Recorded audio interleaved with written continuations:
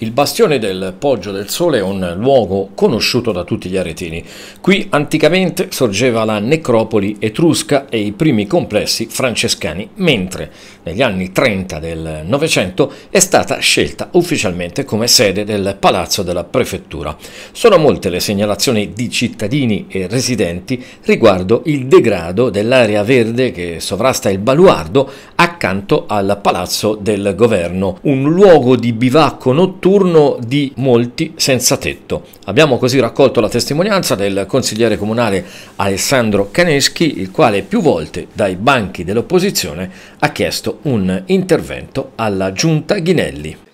Sì, è proprio vero, questo è uno dei, dei tanti luoghi di, nel, della città nel, nei quali il degrado è evidente. Questa amministrazione, il sindaco Inelli, ce lo ricordiamo tutti con i cartonati in campagna elettorale nelle precedenti eh, elezioni amministrative che eh, inneggiava la lotta al degrado. Ecco, oggi siamo ancora in questa situazione, in questo punto che è un punto strategico davanti tra la prefettura e la stazione d'Arezzo, quindi un luogo centralissimo che ad oggi è in queste situazioni. Benissimo il fatto che la regione abbia, potuto, abbia fatto dei bandi per la riqualificazione di questi luoghi, bene che questa volta l'amministrazione comunale abbia presentato il proprio progetto, bene che sia stato finanziato, ma nel frattempo cosa si fa?